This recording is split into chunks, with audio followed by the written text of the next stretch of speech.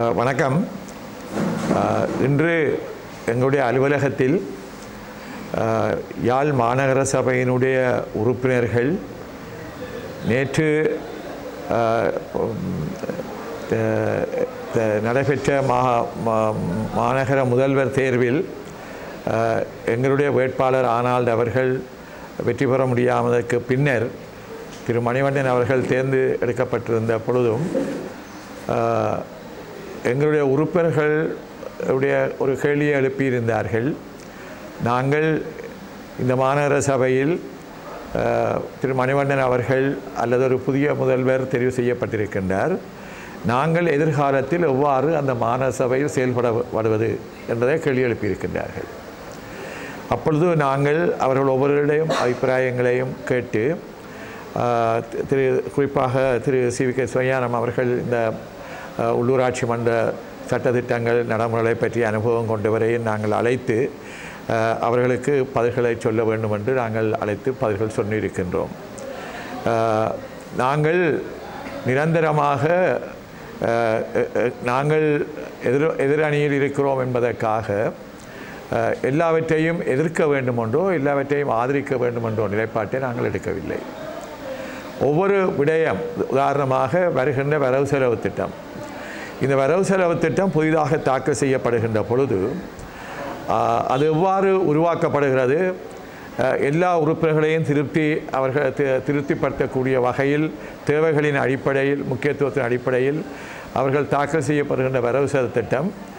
எங்களுடைய உறுப்பினர்களால் ஆராயப்பட்டு அந்த வரவு திட்டத்தை ஆதரிப்பதா எதிர்ப்பதா என்று அந்த சந்தர்ப்பத்தில் முன்கூட்டியே முதல் நாளே அதை பற்றி ஆராய்ந்து தீர்மானம் எடுப்பது என்று தீர்மானிக்கப்பட்டிருக்கின்றது. ஏனைய சந்தர்ப்பங்கள் இருக்கின்ற காலத்தில் ஒவ்வொரு பிரேரணையும்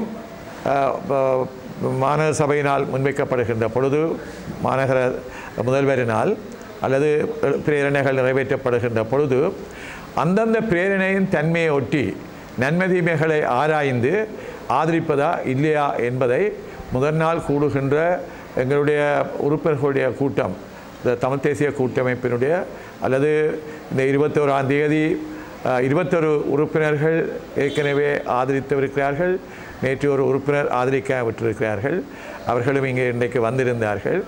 இருந்தாலும் இந்த மாநகர முதல்வரில் எங்களால் நிறுத்தப்பட்ட வேட்பாளரை ஆதரித்த உறுப்பினர்கள் எல்லோரும் இங்கே கூடி அந்த விடயங்களில் தீர்மானம் எடுப்பார்கள். அப்படித்தான் நாங்கள் ஆலோசனை வழங்கி இருக்கின்றோம் அல்லது ஏதாவது சட்ட ரீதியான பிரச்சனைகள் அல்லது வேறு விதமான பிரச்சனைகள் இருந்தால் எங்களுடைய கட்சி தலைமையோடு கதைத்து அவர்களுக்கு ஆலோ உரிய ஆலோசனை வழங்கப்படும் என்றவாறு நாங்கள் தீர்மானித்திருக்கின்றோம்.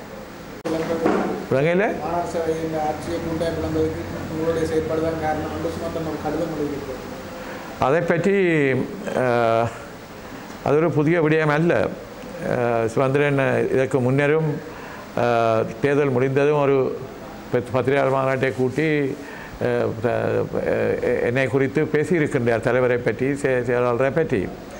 நான் அதை பற்றி எங்களுடைய கட்சியின் செயற்குழுவில் நாங்கள் அதை பற்றி பேச வேண்டும். அதற்கு நான் பதிலளிக்க வேண்டுமா இல்லையா என்பதை நான் தீர்மானிக்க வேண்டும். ஆனால் பதிலளி பதிலளிக்க வேண்டும். ஆனால் இன்றைய ஒரு பத்திரிகையில் தான் அந்த அவர் திரு காரைக்கதிர் பத்திரிகைக்கு நான் அவர் திரு ஆசிரியர் குறித்து என்னை பற்றி ஈடுபடுத்தி எழுதியதற்காக நான் பதிலொன்று அளித்திருக்கின்றேன். மறுபடியால் நாளைக்கு முதலாம் தேதி கிறிஸ்தவ மக்களுடைய புத்தாண்டு உலகம் முழுதும் அதை கொண்டாடுகின்ற நேரம். இந்த கொரோனா வைரஸ் காரணமாக எல்லோரும் து- துயரத்தில் துன்பத்தில் இருக்கின்ற பொழுது நான் கட்சி விடயங்களுக்கு முக்கியத்துவம் கொடுத்து நாளைய தினம் ஒரு அறிக்கை வர வேண்டும் என்று நான் விரும்பவில்லை. அது உரிய வகையில் அந்த கருதத்தை நாங்கள் ஆராய்ந்து எங்களுடைய கட்சி தலைவர்கள் அல்லது அவர்களை நான் ஆராய்ந்திருக்கிறேன். சில அது அறி அறிக்கை கொடுக்க வேண்டுமானால் ரெண்டாம் தேதிக்கு பிறகு நான் ஒரு அறிக்கை கொடுக்க வேண்டியிருக்கும். நாளை ஒரு முதல் முதல் முறையில் நடக்கின்ற வருகின்ற ஒரு புத்தாண்டு அந்த தினத்தில் இந்த அரசியல் குழப்பங்கள் அல்லது பதில் குற்றச்சாட்டு பதில் அதை பற்றி நான் கொடுக்கறதுக்கு எனக்கு மனம் பிடிக்கவில்லை. ஆனால் அதை நான் நிராகரிக்கிறேன். திரு சுவந்த சுதந்திரன் அவர்கள் அது தன்னிச்சையான முடிவு என்று சொல்வதை நான் நிராகரிக்கின்றேன். எங்களுடைய கட்சி தலைவர்கள் மாநகர சபை உறுப்பினர்கள் அனைவருடனும் ஆலோசித்து இருக்கின்ற நெ- நெருக்கடிகள் அனைத்தையும் நாங்கள் ஆராய்ந்துதான் அந்த தீர்மானங்கள் எல்லாம் எடுக்கப்பட்டிருக்கின்றது. அதை நாங்கள் மூன்று க கட்சிகளும் கட்சித் தலைவர்களும் நாங்கள் எடுத்த தீர்மானமும் அந்தந்த சபையினுடைய உறுப்பினர்களுடன் எடுக்கப்பட்ட தீர்மானமும் நாங்கள் அதை அதை தான் நடைமுறைக்கு கொண்டு வந்திருக்கின்றோம். திரு ஆனால் அவர்களை விட வேறு ஒருவரை போட வேண்டும் என்று ஆலோசனைகள் சொல்லியிருந்தால் இந்த உறுப்பினர்கள் ஒரு உறுப்பினரைத்தான் நாங்கள் ஆதரிக்கிறோம் என்று மிக பெரும்பாலானவர்களும் இறுதியாக கட்சி தீர்மானத்தை நாங்கள் ஏற்போம் என்றும் எல்லோரும் எங்களிடம் வாக்குறுதி தந்திருந்தார்கள். அதன்படி ஒரு உறுப்பினர் வாக்களிக்காமல் விட்ட விடயத்திலும் அதனால் சில வேளைகளில் இருபத்தி ஒன்று இருபத்தொன்றாக அந்த நிலைமை ஏற்பட்டிருந்தால் அது ஒரு வாக்கெடுப்பு நடத்துகின்ற டொஸ் என்று சொல்லுகின்ற ஒரு சந்தர்ப்பத்தை உருவாக்கி இருந்தால் ஒருவேளை நன்மைகளை திருக்கலாம். அந்த சந்தர்ப்பமும் இல்லாமல் பண்ணப்பட்டிருப்பதை ஒட்டி எங்களுடைய உறுப்பினர்கள் எங்களிடம் கவலை தெரிவித்து கண்டனம் தெரிவித்து பேசியிருந்தார்கள். அப்பொழுது நாங்கள் சொன்னோம் அப்படி இழைக்கப்பட்ட ஒரு சந்தர்ப்பத்தை இழக்கச் செய்து அல்லது தோற்கடிப்பதற்காக அப்படி நடந்திருந்தால் அதையிட்டு நீங்கள் முறைப்பாடு செய்யுங்கள். நாங்கள் அதை பற்றி இரண்டால் ஏற்கனவே தீர்மானம் எடுத்தபடி ஒவ்வொரு மாநகர சபை ஒவ்வொரு உள்ளூராட்சி மன்ற சபையிலும் வாக்கு அதாவது வரவு செலவு திட்டம் வருகின்ற பொழுது தமிழ் தேசிய கூட்டமைப்பு உறுப்பினர்கள் கட்டாயமாக அதை ஆதரித்து வாக்களிக்க வேண்டும் என்று எழுத்து மூலமாக மூன்று கட்சி தலைவர்களும் உறுப்பினர்களும் நாங்கள் எடுத்த தீர்மானத்தின் அடிப்படையில் நடக்காத உறுப்பினர் மீது ஒழுங்கு நடவடிக்கை எடுக்க வேண்டும் என்றுதான் நாங்கள் அப்பொழுது அறிவித்த தீர்மானம். அதன்படி அப்படி ஒரு உறுப்பினர் தவறாக அல்லது வாக்களிக்காமல் விட்டிருந்தால் அதனால் விளைவுகள் பாரதூரமாக இருந்திருந்தால் அதனால் எங்களுக்கு தமிழ் தேசிய கூட்டமைப்பு வேட்பாளருக்கு பாதகம் ஏற்பட்டிருந்தால் அதை அந்த விடயத்தில் நாங்கள் அதற்கான ஒரு ஒழுங்கு நடவடிக்கைக்காக எங்களுடைய கட்சியிடம் செயலாளரிடம் கேட்போம். அதை பற்றி ஒரு ஒழுங்கு நடவடிக்கை எடுப்பதற்குரிய ஆரம்ப நடவடிக்கைகளை எடுக்கும்படி கேட்போம். அதுதான் நடைமுறை. அதை நாங்கள் தீர்மா தீ- இங்கே அதை பற்றி விவாதித்த பொழுது நீங்கள் இப்பொழுது அந்த விவாதத்துக்காக நாங்கள் வரவில்லை. மாநகர சபையில் எதிர்காலத்தில் உறுப்பினர்கள் எவ்வாறு நடக்க வேண்டும் என்ற விடயத்துக்காகத்தான் இங்கே கூடப்பட்டிருக்கின்றது அந்த விடயம் சம்பந்தமாக நீங்கள் உங்களுடைய கருத்துக்களை எங்களுக்கு தெரிவிக்கலாம். இன்று அருள்குமாரன் அவர்கள் உறுப்பினர் தான் ஏன் அப்படி நடந்து கொண்டேன் என்று ஒரு விளக்க கடிதம் தர வேண்டும் என்று தான் வந்ததாக குறிப்பிட்டிருந்தார். நான் சொல்லியிருக்கேன் அதை செயலாளருக்கு நீங்கள் அனுப்பலாம்.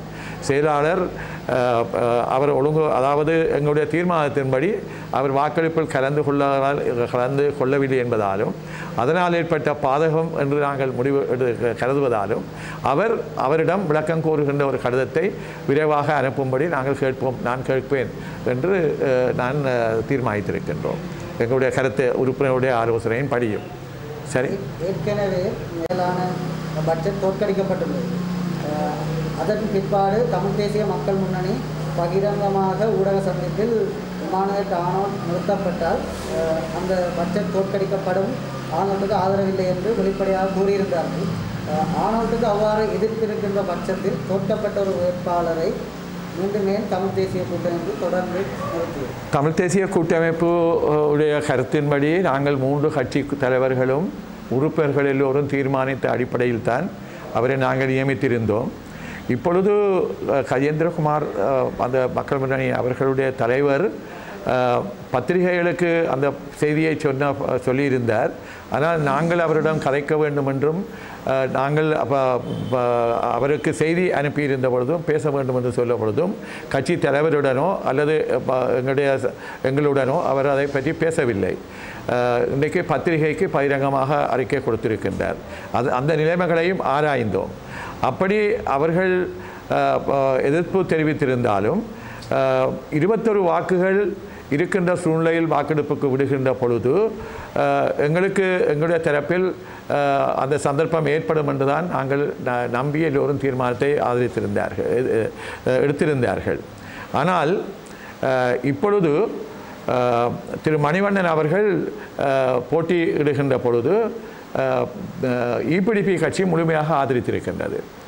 ஆனால் மணிவண்ணன் காங்கிரஸ் பா அதாவது கட்சியினுடைய தலைமை அறிவித்தது அவர் கட்சியிலிருந்து நீக்கப்பட்டிருக்கின்றார் என்று. அது வழக்கிலே வழக்குகளில் நீதிமன்றத்தில் இருக்கின்ற வழக்கு. அவர் இடைக்கால தடை உத்தரவு பெற்றிருக்கின்றார். ஆனால் அந்த கட்சி நாங்கள் சிந்தித்தது பொருத்தமானது என்று நான் சொல்வதற்கு கா நிலைமை அந்த நிலைமையை ஆராய்ந்த பொழுது இப்பொழுது அந்த கட்சியினுடைய தலைவர் அறிவித்திருக்கின்றார் பத்து பேருக்கும் தான் ஒழுங்கு நடவடிக்கை எடுப்பேன் என்று. இந்த சபை கூட அது ஒரு அது சரியாக இருந்து நடவடிக்கை எடுத்தால் இந்த சபை எப்படி நீடிக்கப் போகிறது என்ற இன்னொரு கேள்வி இருக்கின்றது. அதுபடியால் அவர்களுடைய உறுப்பினர்கள் அவர்கள் அந்த கட்சியினுடைய கட்டுப்பாட்டை மீறி இருக்கிறார்கள் அதுபோல பத்திரிகையில் அறிவித்துவிட்டு எங்களுடைய வேட்பாளரை நாங்கள் தீர்மானித்ததிலிருந்து அதுக்கு எதிராக வாக்களிக்க போகிறார் என்றால் அந்த உறுப்பினர்கள் எப்படி நடந்து கொள்வார்கள் என்பது ஊகித்த இந்த நடவடிக்கைகளின் ஊடாக நாங்கள் புரிந்து கொள்ளக்கூடிய தெரிந்து கொள்ளக்கூடிய விடயமாக இருக்கின்றது. அதான் எங்களுடைய பதில்.